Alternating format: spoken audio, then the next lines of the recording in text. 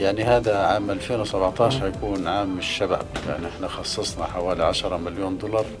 بس بدها تكون للمشاريع اللي تتعلق بالشباب اللي هم الخريجين حديثي